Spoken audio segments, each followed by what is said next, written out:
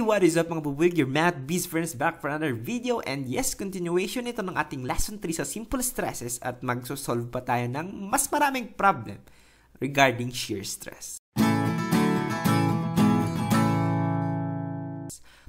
So ayun nga mga bis, no? today ngayong araw ay magsosolve tayo ng dalawang problem. So sinabi kong marami pero dalawa lang talaga kasi mahaba yung explanation niya. Ayun. So, medyo short naman yung solution niya pero gusto kong i-explain talaga siya in detail, no? Okay? So, simulan natin mga beast. Number one, the 7-8 diameter pins at A, dito daw, at A and C. So, meron daw tayo ditong pins, no? Naka-pin yan. So, pin yan, ibig sabihin, kung titignan natin to sa side, no? Yan. Yung part na to, yun yung side view nito. Parang nakatingin ka dito. Yan, nakatingin ka dyan. Tinitignan mo yun, no? Pak, pak, pak. So, kapag tinitignan mo sa side, meron tayong pin daw dito. Nakasuksok yung pin. Yan. okay, so sa pin na yan, dito naka-attach itong ating member. Yung member na to, yung member AB. Yan, ito yung ating member AB. Okay? So, so itong pin na to, ito yung humahawak dito sa member AB na to. Ito yung nakasupport dito. Alright? Okay mga okay mga bis. So, tuloy natin. Find the largest force F that can be applied to the structure if the working shear stress for these pins is 5,000 PSI. Ano tong working shear stress mga bis? Itong working shear stress, it acts like a limit, no? So, kapag nag-exceed ka sa limit or dito sa working shear stress ng pin na to, parang strength niya, di ba? We said uh, earlier nung previous videos natin na stress is also a strength of a material. Ngayon, kapag nag-exceed ka doon, ibig sabihin hindi na kinaya ng pin mo, anong mangyayari? Mag-fail yung building mo, mag-fail yung pin mo, madidetach yan. And ayaw nating mangyari yon as engineers, no, in the future. So, ayan, isa yun sa kinakatakot ko kapag paglaki ko, no? Wow, malaki na pala ako. kapag, kapag sooner or later, no, maka maging engineer tayo, sana naman, eh ayaw kong mangyari yun. Isa yun sa kinakikilabutan ko kaya mga bata, mga kapwa ko mga bata, eh mag-aral tayo ng mabuti. Alright? So ayun, back to the topic. So dito mga bees, sinosolve natin kung ano yung maximum na F para hindi mag-fail to. Okay? So dapat alam natin yon. Next, neglect the weight of the member. So assume natin na weightless muna siya. Pero in in in theory, dapat i i-join natin siya, 'di ba? Kasi lahat naman ng members natin dapat ay may weight. Pero in this case, no, para lang medyo masimplify ng onti yung solving natin, we focus first on what is said. That F only, only F is considered as the external load dito sa ating member. Okay, so walang weight yan guys ha. Ito lang F yung mag-a-affect sa mga support reactions natin. Okay, so yung hinahanap natin is the largest force, F, para hindi to mag-fail. So anong gagawin natin ngayon mga bis? Ang gagawin natin ngayon, hindi pa natin alam. Ako rin, nung unang binabasa ko yung problem na to, it, it like, it's, it, it's look like parang ang hirap. Okay? Pero, dahan-dahanin natin, makikita rin natin yung butas kung paano yan masosolve. Okay? So, palagi, first step natin mga bis, simulan natin yan sa free body diagram. Okay? Free body diagram. Let's draw the free body diagram. Yan. Pangit. okay? So, yan. Ito yung ating member AB. Tapos, meron tayong mem, mem, mem, member. Yan. Kunwari lang straight yan na. Okay. So, meron tayo ditong force F, no? Meron tayo ditong force F, mga bis. Ito yung unknown.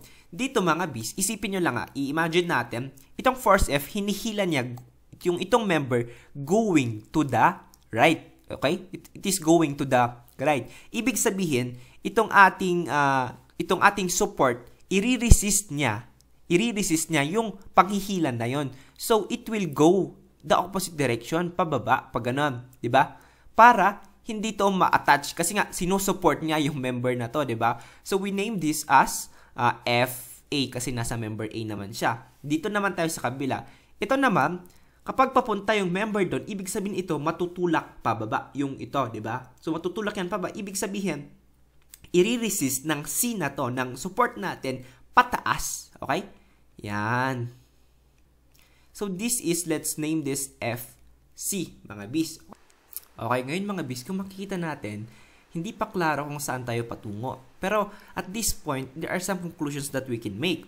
Ang FA na to, FA is the shearing force. Diba kasi, ito yung, ito yung force na ina-apply ng support natin. Hinihila ng support ng pin support natin yung itong member. So this if FA is acting on this direction, 'di ba? And this is our pin which is which has this cross section. So ibig sabihin, this force is parallel to this cross section. It means this force is known as the shearing force. So FA is also equal to RV. Okay, mga bis? So ngayon, balik tayo dito. Establish natin yung ating mga dimensions kasi gagamitin natin yung triangle na to para kunin yung mga components ng FA and FC. ba? Draw ko ulit yan. This is 6, this is 3. Thus, the hypotenuse is equal yan mga bis sa uh, Pythagorean theorem, 6 square plus 3 square. Then we have 3 square root of 5. No? 3 square root of 5. Dito naman sa kabila, mga bis, this is equal to 4. And since nakaangat yung support natin dito sa kabila ng 2 feet, isubtract natin yun sa 6 feet, then yung natitira na lang dito is 4 feet. Thus, we have square, 4 square plus 4 square, we have 4 square root of 2. Okay, kung makikita niyo mga, mga bis, pwede nating i-simplify yung mga values natin dito para hindi siya masyadong, kasi similar triangles lang naman, we, we are only getting the ratio of them. So, hindi natin kailangan gamitin mismo, it doesn't matter, no, kung ganyan yan or ganyan kalaki what we need is the ratio. The ratio will always be the same. It doesn't matter kung anong size. Basta same, similar triangles, the ratio will still be the same. So, since this is 4, 4, 4, i-divide ko lahat to sa 4, then I will get 1, 1, and square root of 2. ba? Diba?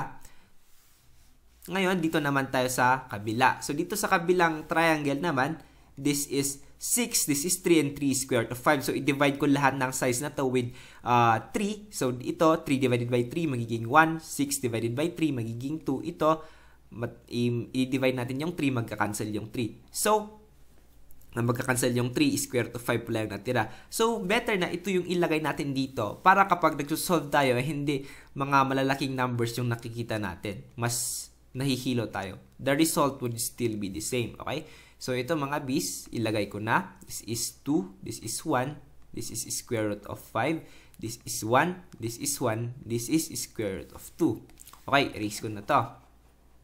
So, we can now apply our equilibrium equations to solve for the value of f.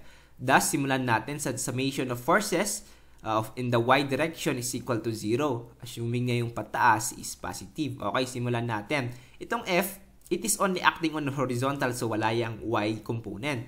Dito mga bis, meron tong y component also ito, di ba? Kasi kapag i-divide natin yan, may paganyan yan, tapos pag ganon.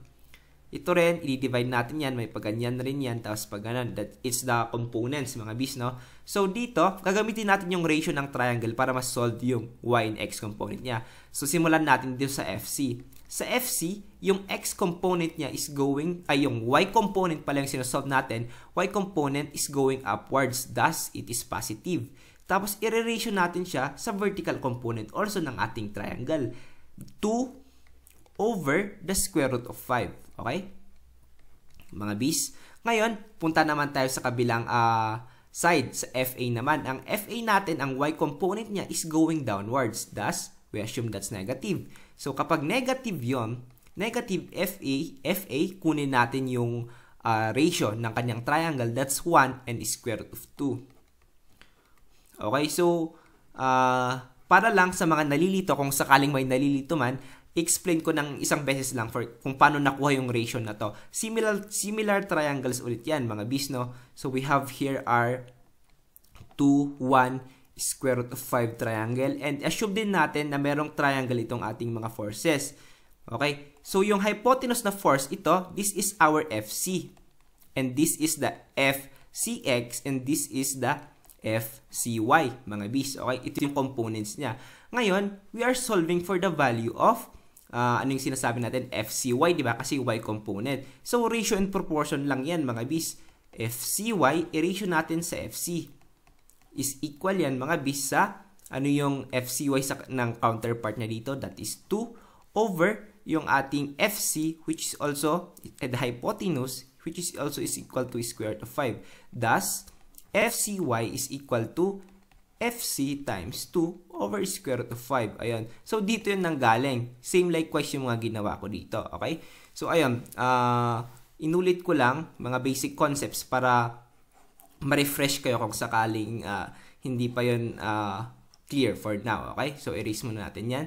So, proceed tayo. So, dalawa yung unknown natin mga bis. Wala tayong masosolve for now. Ngayon, proceed tayo sa ating next equation. Sa ating summation of forces uh, in the x direction which is equal to 0. With, uh, assuming na yung going to the right is positive. Ngayon, we have our f. Our f is positive because it's going to the right. Next, dito naman tayo sa ating fc. Ang kaniyang x component is going to the left. Thus, it's negative. fc, tapos ano yung i-ratio natin? That's 1 over square root of 5. 1 over square root of 5. Minus yung FA natin, negative rin yung X component niya kasi it's going to the left. So that's gonna be F sub A. Ano yung component niya? That's 1 over square root of 2. 1 over square root of 2 is equal to 0 mga bis. Okay, so this is our equation 1, no? Equation 1 and this is our equation 2. Okay, so let me just create some space. Okay, ngayon mga bis, we have two equations. Ngayon, we can use these two equations to solve for the values. Okay? So, in this case, tatranspose ko itong f sub c sa kabilang side ng equation. Okay? So, i-manipulate ko to. Gamit tayo ng white. Okay? So, f sub c is therefore equal to yung fa dadalhin ko sa kabilang side ng equation. So, magiging positive. f sub a, 1 over square root of 2. Ngayon, ito, ilalagay ko rin sa kabilang side ng equation. Yung 2 nasa numerator, lilipat sa kabila, pupunta siya sa denominator. Okay? So, pupunta siya sa 2. Tapos, yung square root of 5, pupunta siya sa numerator, square root of 5. Okay? Okay, so simplifying that further, mga bis, no, f sub c is equal yan sa f sub a square root of 5 over 2 square root of 2, mga bis. Okay, ngayon, Itong FC mga bis, no? Itong FC, isa-substitute na natin yan dito sa ating second equation. Thus, FA lang, tsaka F yung natitira nating terms. That's F minus FC. Ano ulit yung FC? Ito. That's FA square root of 5 over 2 square root of 2, mga bis. Tapos, meron pa tayo ditong 1 over square root of 5. Okay? Haba, di ba? Kaya natin yan. Relax lang kayo. Uh, hinay-hinay lang. Walang, tal wala talagang mabilis na solution. Okay. So, makikita natin mga bis, no? Pwede nating i-cancel tong square root of 5 tsaka square root of 5. Okay, continue tayo mga bis, no?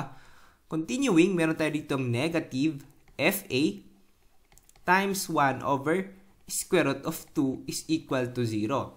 Okay, so simplify natin to. We have F minus FA kasi 1 lang naman yon over 2 square root of 2 minus FA over uh, square root of 2 is equal to 0. So ngayon mga bis, i-express ko yung FA in terms of F. Okay? So that's FA over 2 square root of 2 minus plus pala kasi na-transpose na FA over square root of 2 is equal to F. So, positive na silang lahat. Okay mga kabis, ngayon ilalabas ko yung common factor, di ba? Common factor nila yung FA over square root of 2. So, ilalabas ko yan. FA, FA over square root of 2. Yung matitira na lang sa loob is 1 half plus, ano yung matitira? 1 half plus 1 is equal to F. Okay? So, ang value nating FA is equal yan mga bis yung square root of 2 pupunta sa kabilang side na equation, pupunta sa numerator. Square root of 2 times F. Tapos ito, 1 half plus 1 is 3 over 2. Ito pupunta sa denominator, 3 over 2. So, we can just grab our calculator and solve for the decimal value of this.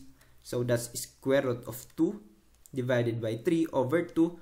We have an answer of 0.9428 F. Okay? So we have the value of our FA is 0.9428 times the F. Okay? So, ayun, medyo mahaba-habang solution kasi medyo detailed siya ng konti. Sulat lang natin that FA is therefore equal to F. Okay? Ngayon, alam natin yung value ng FA. Ngayon, hanapin din natin yung value ng ating FC. Okay? So, paano natin hanapin yung value ng ating FC? Since, alam naman na natin yung value ng ating FA, pwede natin gamitin tong first equation natin, substitute natin yung FA dito, then we can solve for the value of FC. Ito, itong equation na to. Okay?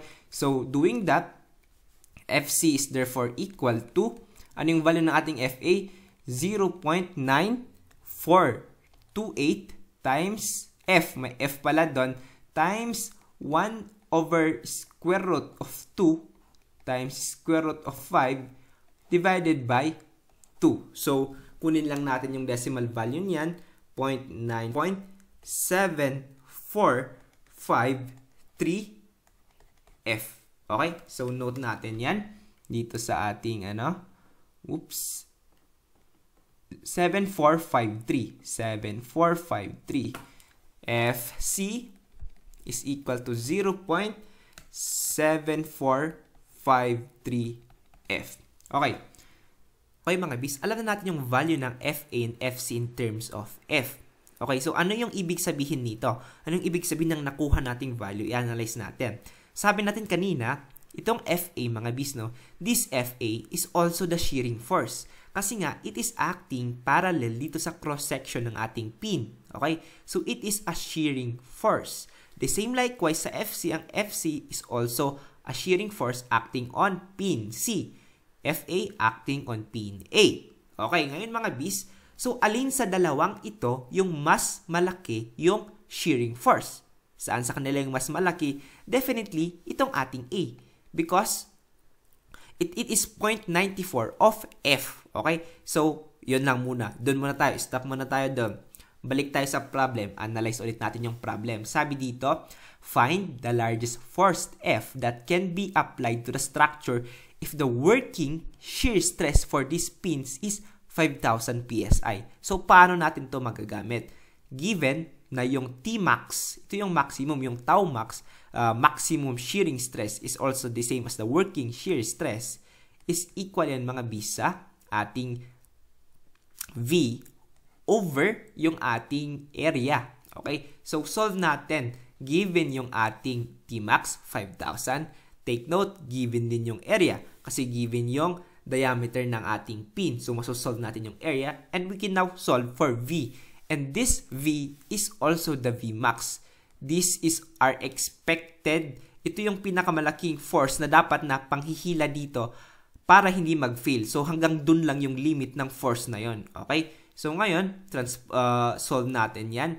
Vmax is therefore equal to, ano yung ating Tmax? That's 5,000 PSI and our area is pi over 4 times ano yung ating diameter? That's 7 over 8. 7 over 8 squared mga bis. Thus, Vmax, i-calculator nyo yan mga bis, no? Is equal to 5,000 times pi over 4 times the quantity square of 7 over 8. Thus, we have our answer which is equal to 3006.6 ano yung unit natin? That's pounds per square inch. So, pounds. Okay, mga bis. So, dapat, yung maximum, yung pinaka-maximum na shearing force should be equal to 3,006.6 pounds. And saan nag-a-act yung ating shear, maximum shearing force? It is acting on FA, di ba? Kasi siya yung mas mataas as compared to FC. Gets ba? Mas mataas yung FA as compared to FC. Thus, we can now conclude that Vmax, okay, is equal yan mga bis sa FA, di ba? Kasi nga dito yung may dito yung pinaka maximum, okay? So ngayon, uh, i-compute na natin the value of F kasi F yung hinahanap natin. So, if Vmax is equal to FA, FA is equal to 0.9428F. Substitute natin yung value ng Vmax which is 3006.6 that's equal to 3,006.6 pounds is equal to 0.9428 f mga bis, lagay natin to sa denominator. Thus, the value of our f is equal to 3006.6 divided by 0.9428. We have our answer of 3189.01 mga bis. Okay? So, ito po yung ating final answer. So, yung maximum amount ng ating f should be equal to 3189.011 anything higher than that will make, will create, will be a reason for the failure of pins C and A. Okay? So, yun yung concept natin mga bis, no? Ito yung pinaka concept natin. Medyo mahaba talaga yung solution, no? Pero, we, if we take it slow by slow, simulan natin sa free body diagram, isulat natin yung ating uh, equilibrium equations, then we will figure out how to solve certain problem. So, ayun mga bis, yung ating answer is nearly close dito sa ating answer. Siguro nag-round off lang siguro dito kasi ito yung answer nila sa book eh. Nag-round out, nag-round up sa siguro sila dito. Kaya 3190 yung sagot nila. Okay, so, okay mga bis, so that is how to solve our problem, no? Sa una talaga, medyo komplikado, pero relax lang. Dahan-dahanin natin, go back to our basics, and we can, we will solve it sa dulo. Okay, so analysis lang talaga. So, ayun mga bis, meron pa tayong problem number 2, no? Pero parang ang haba na ng explanation ko dito. So, solve na lang natin siya sa next video. So, panoorin nyo na lang doon. I think dito na magtatapos itong ating video. See you na lang sa ating problem number 2 sa next video. And yeah, muli ako po yung bubuyog na nagpapalala sa inyong maglakbay, mag-enjoy, maglaro, manaliksik, maging matinig. Jabi out.